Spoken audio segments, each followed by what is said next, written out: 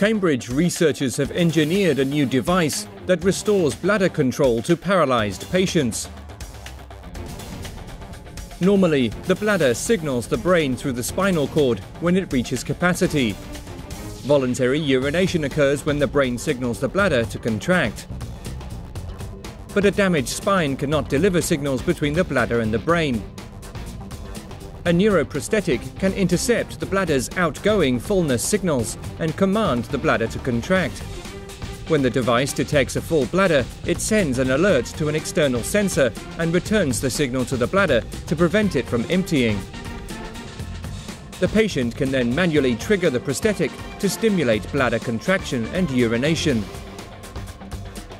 The system has been successfully implemented in rats, but it could be years before it is used in people.